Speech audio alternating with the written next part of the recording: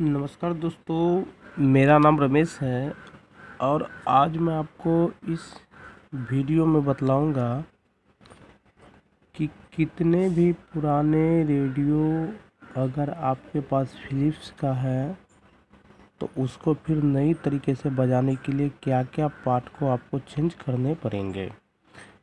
जैसे रेडियो कितनी भी पुरानी रखी हुई है, उससे मतलब नहीं है। आपकी रेडियो की जो खराबी आएगी तो जो मैं इसमें बतलाता हूँ चेंज करने के लिए बस उतना उतना ही खराबी आएगी और उससे ज़्यादा आपको चेंज करने की नौबत नहीं आएगी।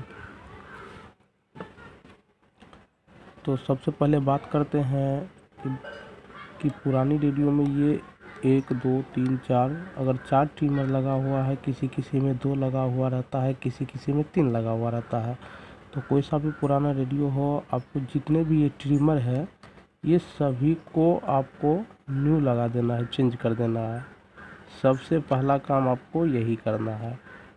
इसके बाद आपको ये देखना है कि बैंड स्विच काम करता है सही तरीके से कि नहीं कितने में क्या होता है कि स्टेशन आते हैं और फिर छोड़ देते हैं। तो ये बैंड का प्रॉब्लम रहता है, ये हिलते रहते हैं इस वजह से। तो इसमें ऑयल डालने से अगर सही हो जाता, ठीक है। अगर नहीं सही होता है तो आप इसको चेंज कर दें। ये दो प्रॉब्लम हुआ और तीसरा होता है यहाँ का गेंग।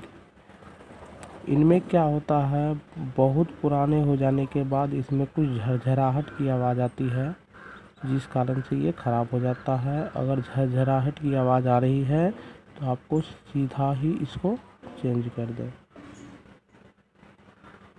ये तीन हो गए और चौथा में क्या होता है कि आपको इनमें से अगर कोई टूट फूट गया है तो आपको चेंज करने पड़ेंगे। अगर टूटे फूटे नहीं है तो ये कोयल घुमा करके आप इसको एडजस्ट कर सकते हैं।